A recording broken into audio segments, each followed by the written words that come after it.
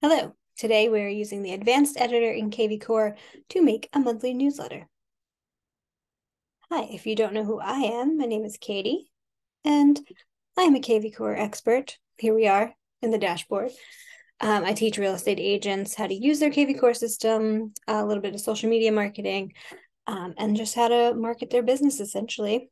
I also do some virtual assistant work if you are wanting to use it but not use it yourself. so today we're looking at the advanced editor. Uh, so we're going to marketing. And you could head here to Smart Campaigns, or if you're in all marketing, Smart Campaigns is right here as well. We're going to manage campaign. And then we're heading to templates. So there's going to be a lot of templates in here um, because they are connected to all the campaigns that are in your system or in the kvCore library. Um, let's see. There's 196 of them here. Um, it's irritating that you can't delete, but that's how kvCore works. Um, but if you are adding your own template, we're just going to hit this big old green button and do email template.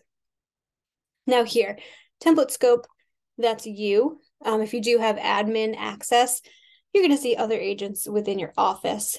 Um, but scope is going to be you because this is going to live in your template folder. Um, and then template name, that is just for you. We're going to X out of here. Say yes. Um, so you can search your template name over here. Um, so that's for you to find it within your template folder.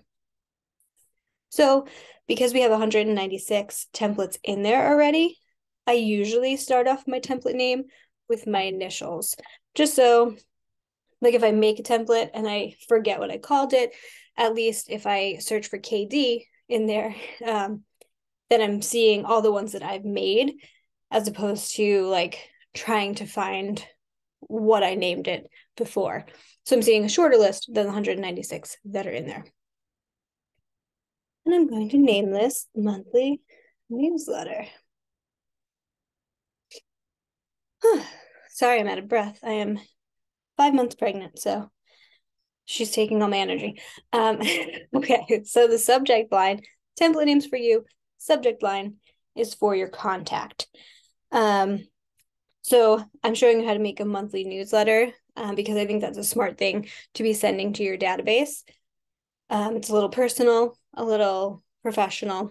You'll see when we build it. So I often just do this. Um, for a subject line, hi, first name, and this is a merge tag. This will be pulled from your smart CRM and auto-populated into your subject line.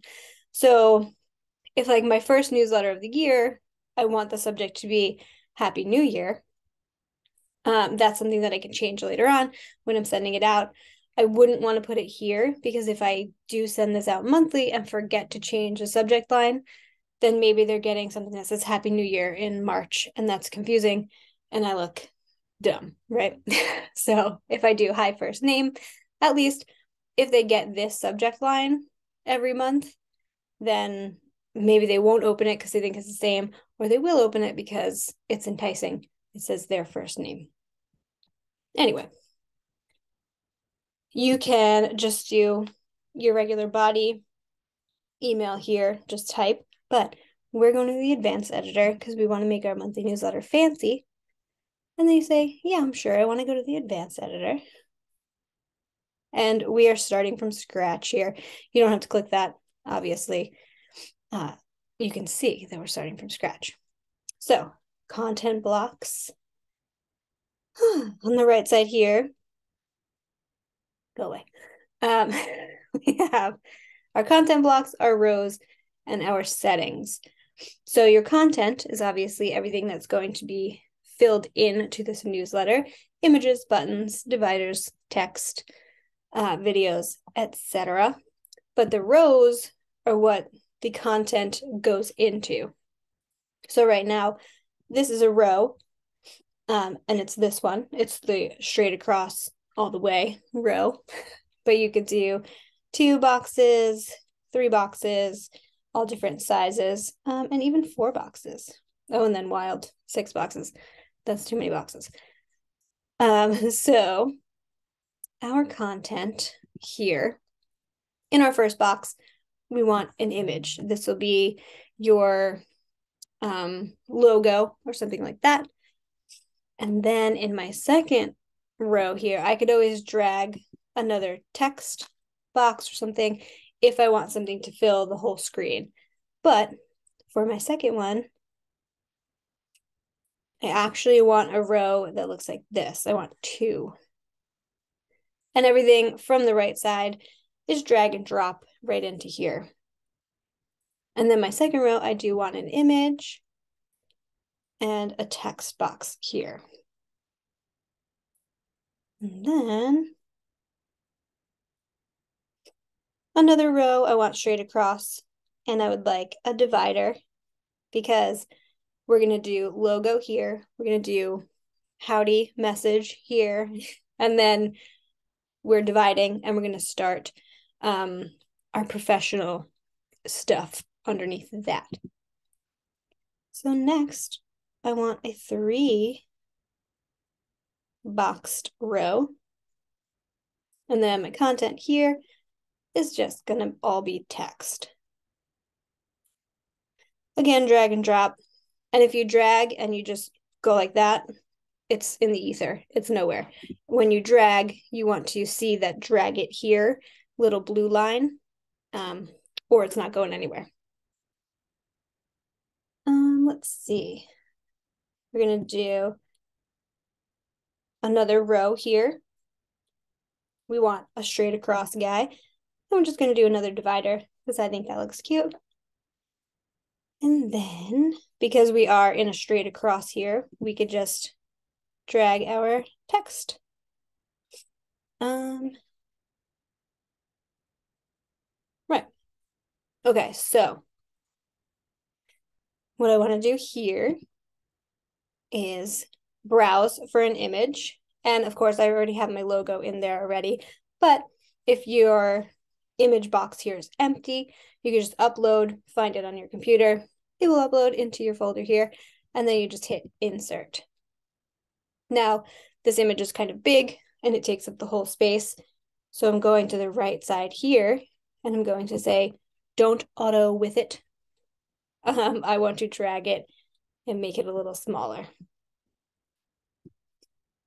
Um, if you were doing this with your company logo, I don't know if the rules apply within like a newsletter, but I know in like social media advertising, the logo has to be bigger than your name. So just keep that in mind um, when you're changing the width of this. All right. So I wanted another picture here. And I already put her in there, our January 2023. And then I write my message. Happy New Year. Um, it was a great 2022. Blah, blah, blah. Okay. So in this box, I mean, if you're doing the same newsletter layout that I came up with, you do your logo, you do your monthly image, and then you do a personal message. So this is, hi, it's me again. Um, how are you doing? This is what happened in my life and my business, blah, blah, blah. And then here, I wanted to do like a, a mini market report. So we'll do Essex County, um, average home price. And then I'll do, whoops, X, X um, based on my area if I wanted to do that.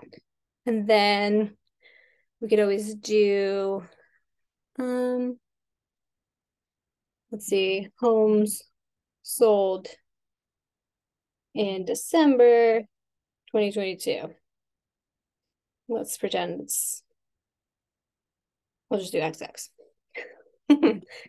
then uh, we could always do current uh, interest rate for your mortgages.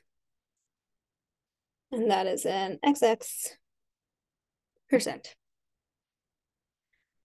Um, so here, I don't love how they look because they're all right justified. So I could always go in here, highlight, and then your text box pops up when you click on that. You can change your fonts if you have a specific font that you use.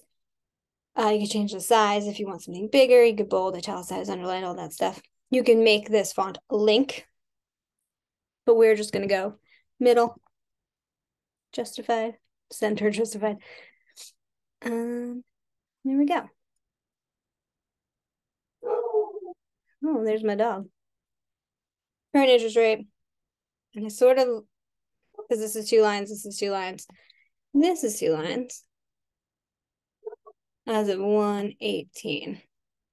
Or as of January 2023.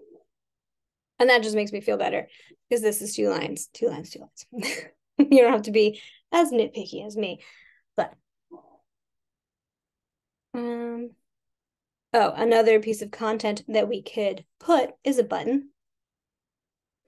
I'm going to drag it here. Oh, you know what? We're going to do some font first. So I want to write, you are interested in finding the value of your home, click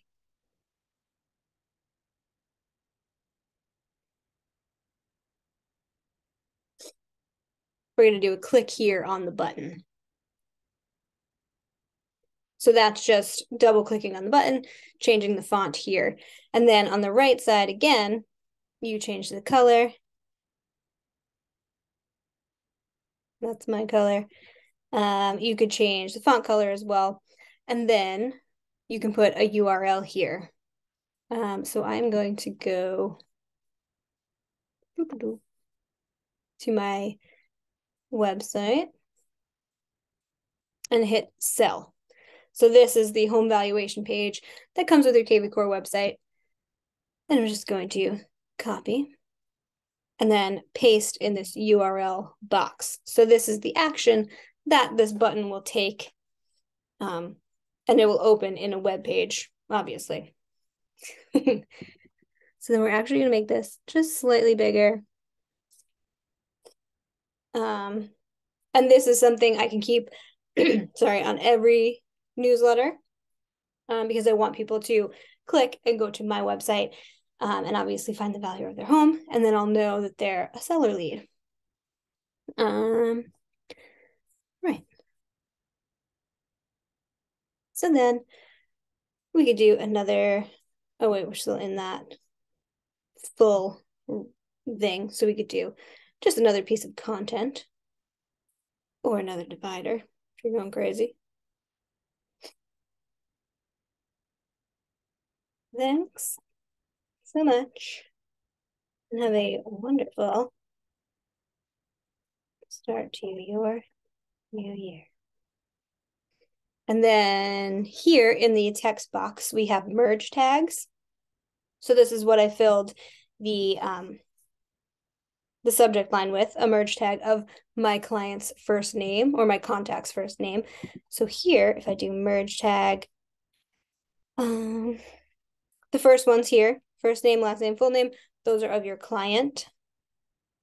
Um, and then they have agent, first name, last name, full name, full signature. That would be pulled from your profile up here. Um, and then a couple lines down, I could do the other merge tag that is important, which is your unsubscribe URL. So that keeps it legally compliant that if somebody's getting these newsletters, I'm just sending to a list, um, they're able to unsubscribe um, without like writing back to me, get me off this list. Um, expletive, expletive. so that is sort of the bones to a monthly newsletter um, that I've created.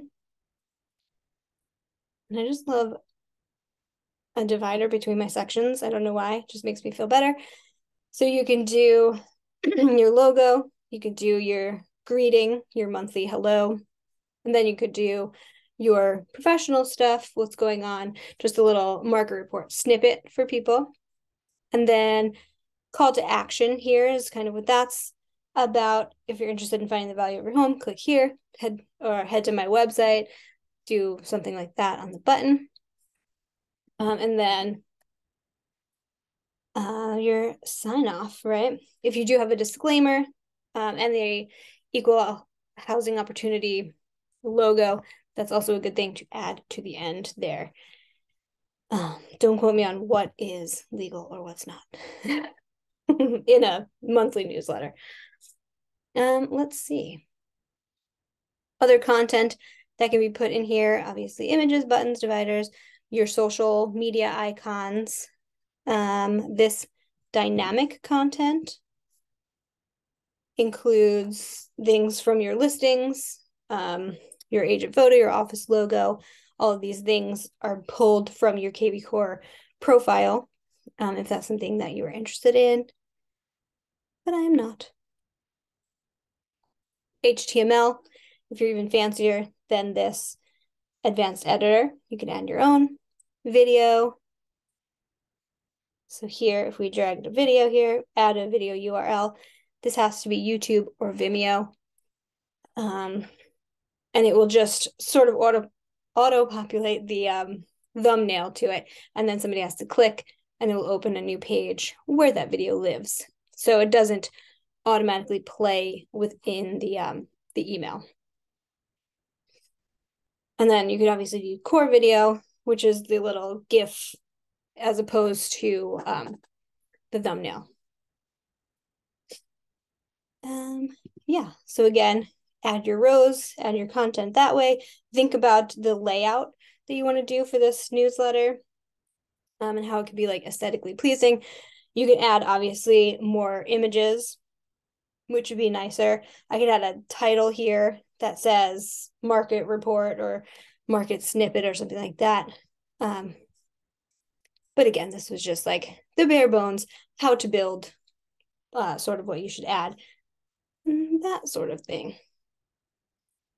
And then your settings, your general options, and then whatever you click on, that'll those settings will pop up here. Alrighty.